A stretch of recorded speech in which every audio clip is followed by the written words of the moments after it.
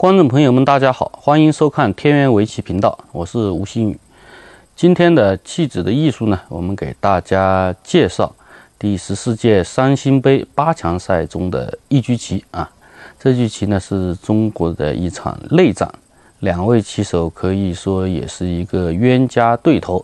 那么就是古力呢对阵陈耀烨啊，而。陈耀烨呢，在国内的棋坛或者比赛中啊，屡屡上演这个鼓励克星的这个呃角色啊，这个可以说是在鼓励对阵中国棋手里面呢少有的啊，处于这个下风的一个对手。那么呢，在这次八强赛中呢，两人呢又是再度相遇，我们来呢欣赏一下这盘棋。现在呢，嗯。白棋开始通过七掉两子啊，黑棋在这边已经取得了很多的实地。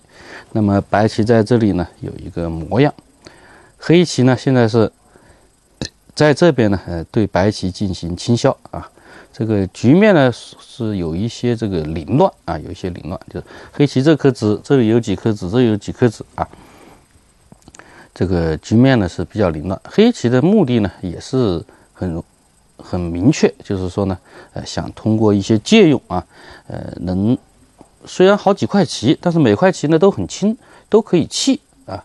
想通过这一些这个凌乱的招法呢，来这个呃找到这个头绪啊，能争取呢能够这个呃怎么样去破掉这个白棋的这个模样啊。那么现在呢，黑棋先点一个，想便宜一下。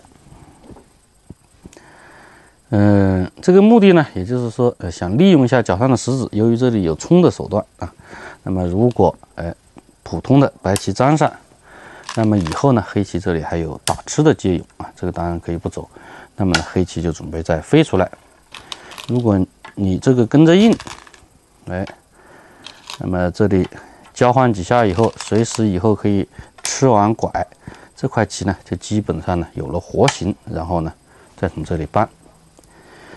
这样呢，呃，黑棋可以说是能够撒豆成兵啊，就是把白棋的这个模样最后实控呢，只是限制在这里。这个是呢黑棋的这个意想图啊，意想图。当然，白棋不会这么啊轻松的让这个执黑的呃鼓励啊这个如愿。那么执白的这个陈耀烨呢，在这里呢，嗯，做出了这个最强的这个反击压。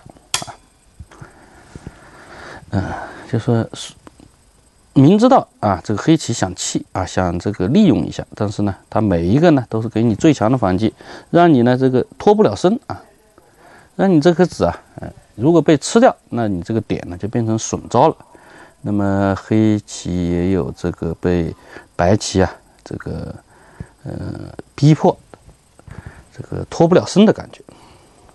黑棋先搬啊，还是想这个寻找头绪。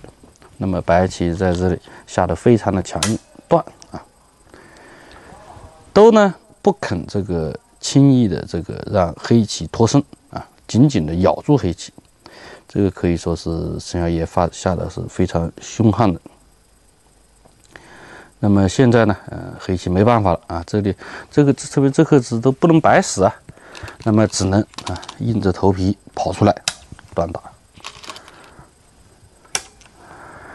然后再出来，这个呢虽然是找到了一定的头绪啊，跑出来了，但是不知不觉中啊，这黑棋自己呢也把自己这个棋呢下中了啊，走中了。那么白棋一吃，很凶啊，先先让你这边变成损了。那么这个地方黑棋已经就是说呢，呃，这个亏损很大。那么在上方呢，一定呢要走出些这个东西来。那么现在黑棋先尝一下啊，多死一个子，多弃一个子呢，多一些余味，不肯被白棋啊这个轻易的拔花啊，这个拔花这个味道呢就太干净了，所以宁愿多死一个，然后再尝，尝一个目的当然是非常的明确的，这个是下一步要夹死白棋啊，那么白棋当然是跳出来。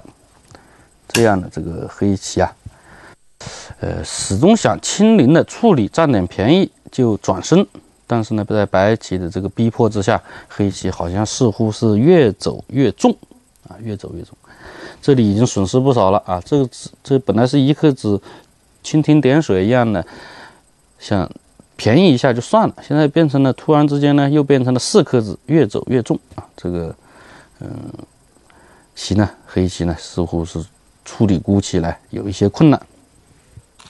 那么现在黑棋冲，干脆连根拔出。这时候呢，白棋张闪啊。不能挡这个，这个挡这个。现在呢，由于这个头在外面啊，这个借用还很多。这个被黑棋粘上以后呢，这个白棋啊不太好处理啊。那么白棋就干脆粘上啊。由于你外面已经损了很多，这个角上呢，暂时呢我就可以让你活了。那你这个在贴的时候，它就贴出来啊。这个外面黑棋损失很大了，它呢就是准备呢让你在角上活。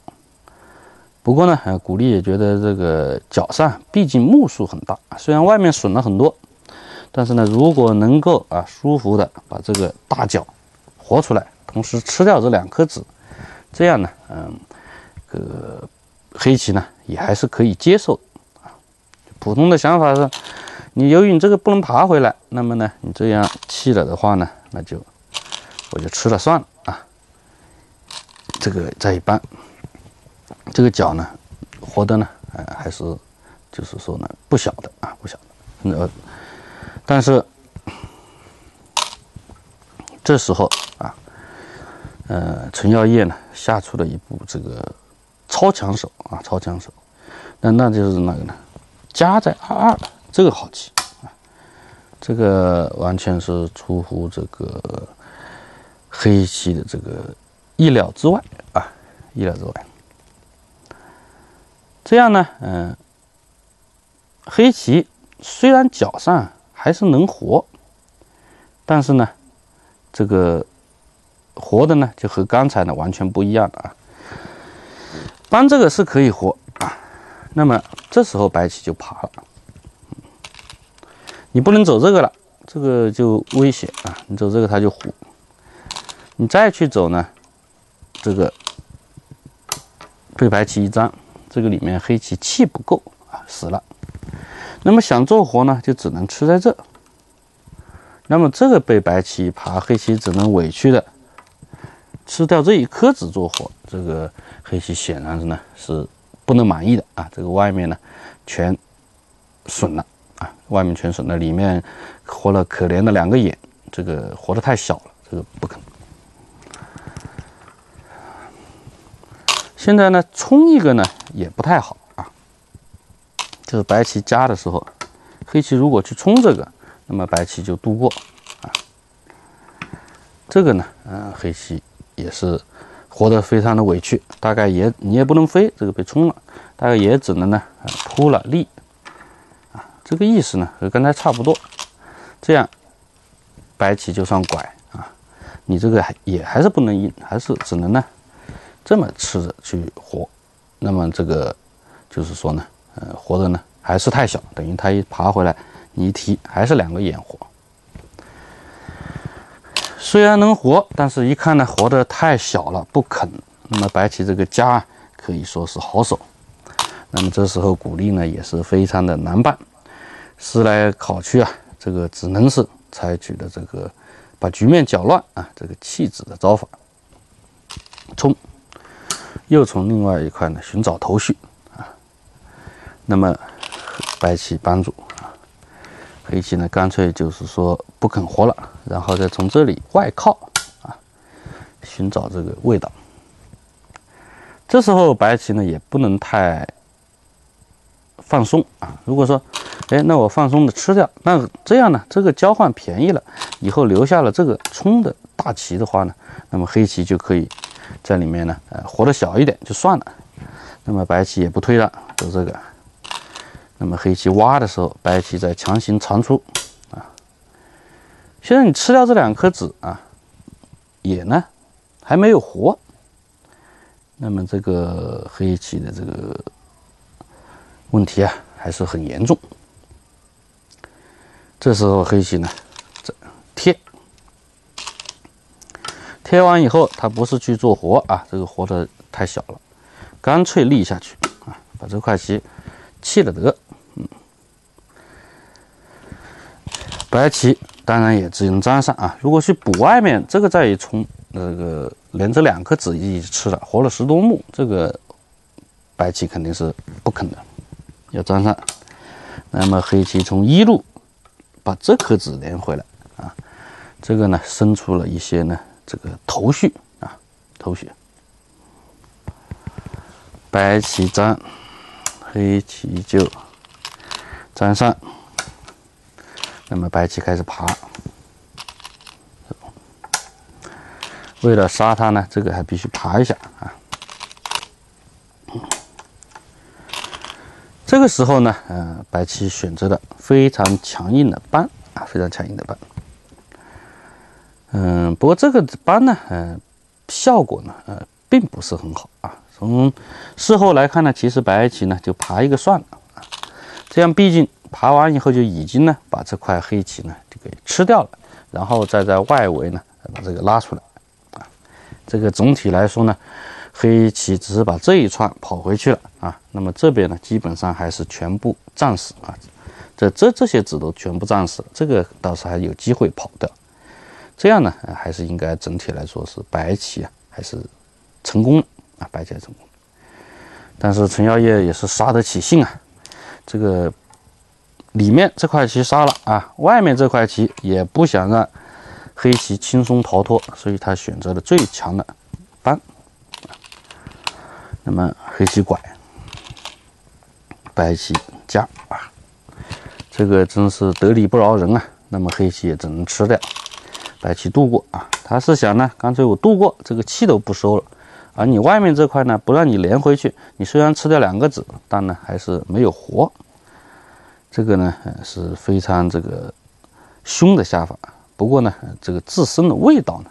并不是太好啊，因为一路度过这些气呢，其实也是比较紧的。那么黑棋再一断，这样黑棋这个气子啊，反而呢找到了这个头绪啊，反正有断点嘛，是吧？白棋吃啊，这个战斗也是非常的激烈。然后这个走走上这个以后呢，黑棋再虎跑出来。这块棋是要逃跑的啊！这块棋，嗯，不能再弃了，再弃了就全死了。那么虎了以后呢，这个，嗯，白棋呢，在这里呢，虎了一个啊。这步棋啊，就是说呢，嗯，看上去似乎没有什么，很正常啊，很正常。因为因为这个地方你不补的话呢，这个人家。由于有这个打，以后这个扳是先手的话呢，那么这个里面还有还有些余味啊，就是说你扳你挡的话，这一挡黑棋呢还有这个做劫的，以后这些手段，所以这个时候呢，白棋虎一个啊补这里的毛病，但是呢这步棋呢其实呢应该呢粘上啊才是正确的下法，因为这个走了以后，黑棋在这个局部啊。他要做眼，肯定是要坐在这里，是吧？那么坐在这里，你这个虎的位置显然呢就不如粘上啊，所以这个虎是这个激烈对杀以来，陈耀也出现了一步这个失误，虽然不不明显，但是呢，这个带来的后果呢还是比较严重的。那么黑棋先把这个藏出来，那么白棋这块棋也被卷入了啊，那么只能压。这个时候呢，嗯，黑棋先扑了一手，白棋啊，这个提掉，那么黑棋呢，先提一下，白棋粘上。这个时候呢，黑棋再以熟顶，这个在平时来说是很熟，但是现在呢，正好啊，如果你打了它顺手一弯，这个这几个子啊，就变成先手活了。先手活了以后呢，再把这个拐住啊，这里让你去收气吃，那么这个白棋绕了一圈呢，最终还是要收气吃，这个外面被黑棋活了，这个白棋呢肯定不满意。那么白棋呢，还是继续用墙贴啊，要吃你这三个。那这三个子呢，当然是不肯轻易给啊，因为吃了以后脚上呢就不用收气了，所以长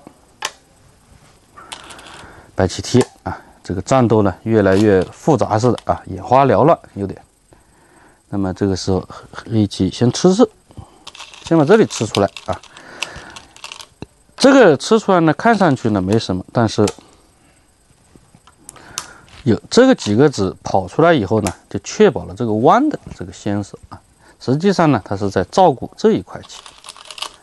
然后白棋接啊，白棋这个接呢是防止黑棋这个扳的这个呃以后这个先手的一些借用。那么粘上以后啊，黑棋再靠啊，再把这个也跑出来。白棋挡的时候呢，现在黑棋一弯，哎。这个时候呢，白棋只能站，这我们就看出呢，这颗子的这个呃坏处了啊。现在黑棋把这些长子拉出来以后呢，说白了还是，呃，这个角上这些子呢，还是有一些这个借用啊。然后打吃，嗯，这个打吃看上去好像是送死，其实呢也是暗藏玄机啊。一般来说，普通的是打在这里。那么打在这里，它呢也是这个暗藏玄机。白棋当然不太肯忍受啊，这样吃，这个黑棋已经便宜不少了。那么白棋也是硬着头皮长啊。那么这个时候呢，就是说黑棋先爬一下，把气先藏一下，白棋粘上啊，然后黑棋呢挡这个，挡这个。那么这里有什么呃玄机呢？我们来看看啊。那么当白棋点这个啊，是这个局部杀棋的好手。然后呢，黑棋再一断啊，这个通过弃掉这个角上啊这个棋，黑棋呢可以说是成功的啊，把这个局面呢呃彻底的给搅乱了啊。嗯，战斗呢是非常复杂，大家看的也眼花缭乱。但是呢，这个心里一定要清楚一点，这个就是这个所有的战斗都是在白棋的大模样中啊产生的，就黑棋呢相对来说呢是比较灵活的，可弃可取啊，啊白棋相对来说呢，也就是说战斗的这个压力比较大啊，因为本来好多好大的模样，那么一定呢要取得很多实地，才能呢保障这个呃。模样的这个成果，所以呢，黑棋这个一通乱战以后啊，逐渐呢掌握了这个局面的主动啊，通过这个弃子。好，这个地方虽然现在是死的，但是这个断了以后呢，这个余味啊又逐渐呢出来了，因为这个这个子打的这个妙位啊，我们就逐渐能够看出来了。那么势必白棋要吃出来。这时候呢，黑棋再在角上利用挡是先手，白棋要杀只能走在这。哎，黑棋再一虎，这个可以长一口气啊。黑棋虎了以后呢，就是说，嗯，白棋当然只能挡这个，你不能粘这个了。粘这个再一拐，由于这个两边都不入气啊，两边都两边都收不进来，那么这个呃白棋里面死了，所以。白棋要挡这个啊，杀棋只能走这个。那么这时候再一断，这个子的作用我们就能够看出来了啊，获得了这个先手的这个一段啊。那么白棋为了防止这个，必须赶快呢先搬一下啊。幸好白棋还有个救命稻草。然后黑棋呢在小尖啊，黑棋在小尖。白棋呢，底下呢总是呢要补回去的啊，要补回去的。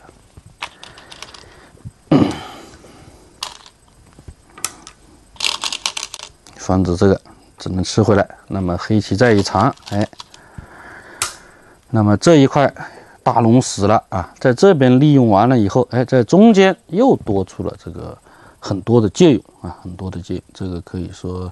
这个死得其所！这个黑棋利用这一块死棋啊，在这里，嗯，好像是东一枪西一枪，但是呢，眼花缭乱的招法呢，把这个陈耀烨搞得有点晕了。那么长了以后，这个肯定要走啊。然后黑棋这一跳啊，又是紧凑的招法啊，逼迫白棋只能吃出来。白棋先打一下，便宜一下。这个是命令型，只能呢从这里吃出来啊。如果在里面收气，这个全被包紧了，这块棋都要死。那么呢，只能是吃出来。黑棋在跑，白棋先出了头再说啊。然后呢，再贴，再贴。这样呢，呃，黑棋成功的把白棋这块棋又绕进去了啊，利用利用这个角上。当然现在呢，呃，黑棋不肯轻易的啊，这么简单的去吃它。那么黑棋肯定胡，还要把这个角上的余位啊，虽然只剩三七棋了，但是呢，文章还是要做足的。白棋搬，这个白棋得撑住啊，呃，不能被人家又搬回去了，等于还是分进去了啊。这个白棋搬，那么黑棋先粘上啊，这个粘上是棋形的要点。白棋打吃，去粘。白棋呢，嗯，粘上这个，嗯，那么，呃，现在呢，这个里面啊，这个黑棋呢是有机会啊，这个杀掉白棋的，就是黑棋现在呢可以吃在这里啊，这个是当白棋叫吃的时候呢，黑棋在顶住啊，这样黑棋是可以呢反过来呢。吃掉白棋的几个啊，这样呢，当然局面呢，应该还是黑棋呢，这个还是不错的啊，黑棋还是不错的啊，能够只是通掉气过，弃掉这个角，在这里呢，嗯，反过来还能杀掉白棋一块，应该也是呢黑棋这个优势的啊，优势。不过鼓励呢也是杀得起兴啊，这个气得过瘾，对这里的借用呢依然是念念不忘啊。越杀的越来，干脆一断，啊，这个也是漂亮的定型。我们来看看，走，然后长啊，就是说，非要把这个石子啊，这个完全的利用到头啊，一定要逼迫他去收气，啊，这个可以说是实在是太黑了啊。那么你走这个，白棋呢，黑棋打，白棋走啊，你。在长，这个可以说是在这个弃子里面是最经典的啊，就是把子都弃完了以后，让你一个一个的提起来啊，这个是作为吃棋的一方呢，也是比较痛苦的啊。然后白棋贴，这时候呢，黑棋走，白棋搬这个啊，陈耀烨呢在做最后的顽强的这个抵抗啊。然后粘上，嗯，现在来说呢，嗯，黑棋交换了这一堆以后呢，呃，暂时看不出什么利益啊。正常的定型呢，就可以走这个啊。那么白棋退，黑棋呢，虽然从这里可以冲出来，但是白棋这个叫吃呢，也有一些先手味道在这里。黑棋呢，那么这个结果当然是也是黑棋啊，要赢啊，要赢。那么不过呢，嗯，这个被他走了以后不用收气，这个似乎鼓励呀还嫌不过瘾啊，还嫌不过瘾。那么在这里啊，鼓励又走出了一个啊更加大胆的啊，或者说也是更加简明的弃子这个图形，弃上瘾了啊，有点这个，这里弃的不够啊，现在虽然有机会杀白棋，他反过来还要接着把这块棋给弃掉。我们来看看，搬，干脆这样定型啊。那你搬黑，白棋当然吃啊，当然吃。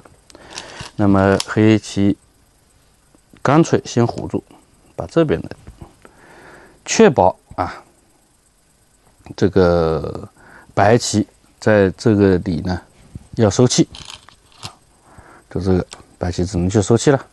好，那么黑棋的第一目的呢？首先是达到了啊，达到了，就是说让逼迫白棋非常痛苦的让他把里面的气啊都得收掉啊。黑棋就是说一点都不浪费啊，可以说这个是弃子一定要把它利用的这个是呃干干净净。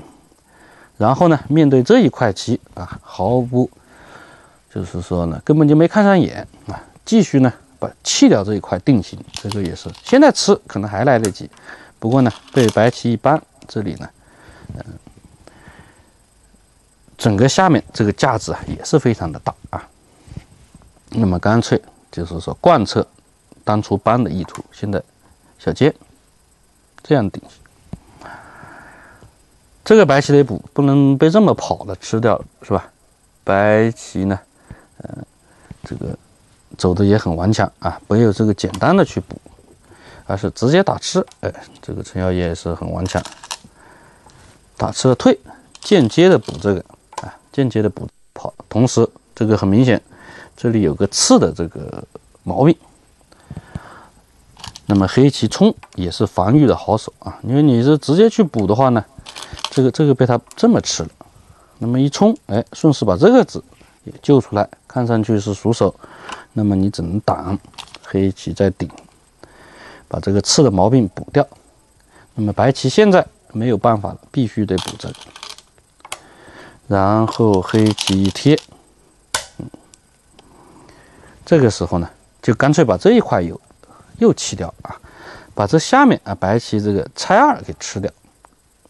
这样的转换呢，这个其实目数啊更加的底下的目数啊更加的大啊，比这个实际上是要大。这个只看得多，但是呢这个虚空多。这时候白棋没法跟着应啊，跟着应呢虽然是能活啊，比如说这个就打掉，虽然能能活呢，呃黑棋可以先打这个，但是呢，嗯黑棋再回头一补，这里就等于是被黑棋先手便宜了。那么白棋呢？只有啊，去吃这个，这个棋呢，它虎这个啊是局不好手。如果黑棋再跟着应，就被白棋先手双活了。那么黑棋呢，就把这块吃掉啊。白棋一吃，黑棋这块棋呢是死了啊。但死了没有关系，在这里呢，也把这个空完整的围起来贴。由于尝试先手，这个空呢，就是说可以说是完整的围了起来。这样的结果呢，通过这个继续弃掉中央啊，这个尝试先手，然后把这个就围住。你白棋拐呢，黑棋就粘上啊啊，把这些子啊全部弃掉，把这个连边带角绕一大圈，都成黑棋的这个实地啊。可以说呢，黑棋是获得了畅快淋漓的大胜啊。这个时候，将近这个差距啊，已经可以说是将近有盘面二十目左右了啊。这个可以说是鼓励这盘棋啊，下得非常的这个自如啊。但是呢，乱战的能力呢也是非常的强，而这个利用石子啊也是非常的这个巧妙啊。嗯，整盘棋呢，弃的可以说是通过弃掉两块大龙啊，两块大龙呢，获得了这个盘面二十目的大优的局面。这个下的是非常的这个精彩啊，下的是非常的精彩。而作为这个鼓励的苦手啊，这个陈耀烨呢，今天呢只能是在这么鼓励这个神勇的状态下呢，今天只能是当了一回这个配角啊，配角。嗯，不管怎么说，这盘棋啊，从这个气子腾挪的。啊，这个自孤的这个角度上来说呢，可以说是一盘非常精彩的棋啊！鼓励给我们展现了呢，他这个精湛的这个技艺啊，非常的精彩，非常的过瘾，非常的好看，大家呢可以细细的品味一下。好的，今天的棋局呢，我们就给大家呢，呃，介绍到这里，谢谢大家收看，大家再见。